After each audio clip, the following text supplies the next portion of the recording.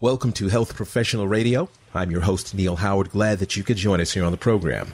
Uh, you may or may not know that one in five Americans suffers from mental illness each and every year. Now, that's a huge number. That's a staggeringly high amount. Now, of those, 60% diagnosed with stress, anxiety, and depression are not going to seek treatment. Well, our guest today is Dr. Monika Roots, Vice President of Health Services and Senior Medical Director of Behavioral Health for Teladoc. And she's here to talk with us about mental health and telemedicine and how the two uh, relate. Welcome to the program, Dr. Roots. Thanks for having me. Now, um, I did say that you are the President of Health Services, Senior Medical Director of Behavioral Health. So uh, you're a you're a psychiatric doctor, uh, not a not a medical doctor. Is that correct? I am both a psychiatrist and a medical physician. So we complete our training and really focus on the body and the mind. Now, um, Teladoc, what is Teladoc involved in? Teladoc has been around for some time. It actually recently celebrates 15 years uh, in the making, and there are multiple services that are offered, including general medicine, pediatrics, dermatology, behavioral health, and sexual health. So we really are able to offer a wide range of services. Uh, when it comes to, to mental health, why wouldn't someone get the help that they need? You know, mental illness is something that many have suffered with for some time, but unfortunately have been unable to access care. Now, access really can be multifactorial as far as barriers. Those include things like stigma, so, for example, if you live in a rural area and you go and you park in front of Dr. Roots' office, you may not walk in because everybody will know in the city that you went to see Dr. Roots for some mental health care. In addition, because there are so few providers nationwide, wait lists continue to go up. In the brick and mortar setting, it's not uncommon for someone to wait three to six months to be able to have their first initial visit with a psychiatrist and several weeks to see a psychotherapist. Um, in addition to that, mental health treatment is not a one time visit. Many times the treatment plan includes weekly visits.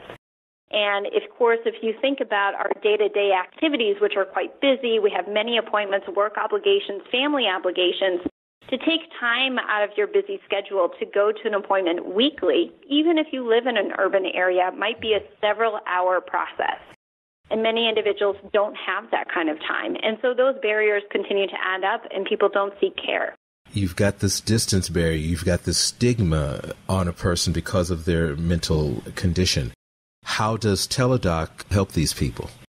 Teladoc really focuses on convenience, quality care, and access.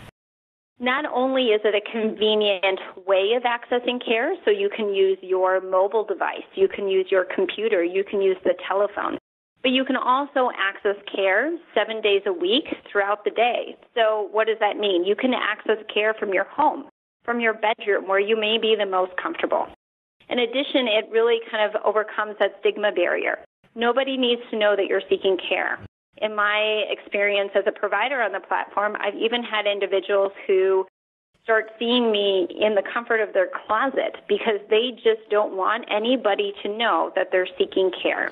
And we eventually are able to focus on delivering care to be able to get them to be able to understand they have a mental illness, that it's okay, and they can have that dialogue with others.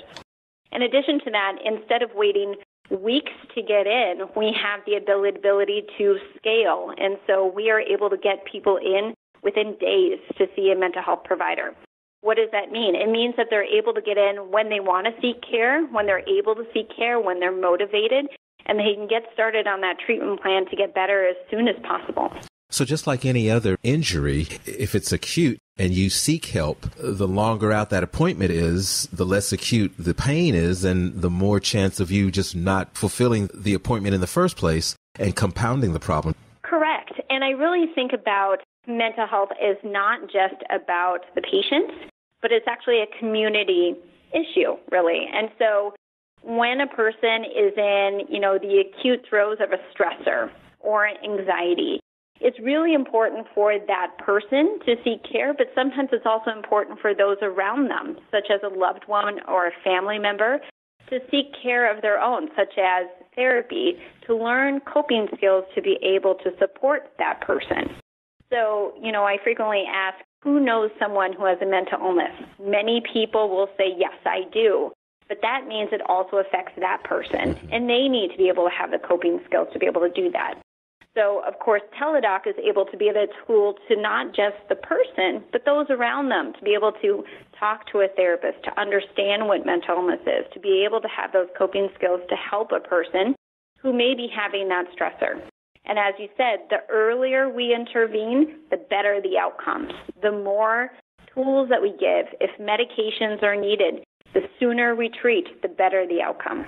So there are so many barriers that are uh, broken down. You've got weather factors, as, as we said, distance, transportation, stigma. All of these things are eliminated, allowing for, I guess, a, a better level of care for the patient who is um, driven by anxiety when they have to go out. When it comes to getting the medicines, uh, does this uh, platform also allow for the uh, meds to be delivered discreetly? Correct. So we on the Teladoc platform have several board certified psychiatrists who have various levels of specialties. Uh, so that includes general psychiatry and other areas of specialty, and they are able to prescribe medications to treat anxiety disorders and mood disorders and other issues.